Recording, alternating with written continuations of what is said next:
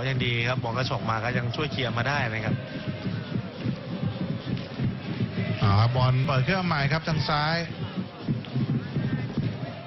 ขึ้นมาครับตานาพิรพัฒน์มีเทียทรตีคู่มาจะทำชิ่งกันยังติดบล็อกอยู่เทียทรเข้าไปสไลด์แล้วฟาวล์ครับตรงนี้เข้าไปช้าไปนิดหนึ่งอืมจะมีการขยับตัวผู้เล่นแล้วนะครับของพัทยาอยู่ในเกตนะครับ เกมเป็นรองครับตอนนี้ต้องขยับแล้วนะครับ ต้องการประตูที่เสมอครับ เวลาก็ยังพอมีเหลืออยู่ประมาณ 29 นาทีครับ หมายเลขสี่ครับเตรียมที่จะลงครับสุพนันบุรีรัตน์ครับ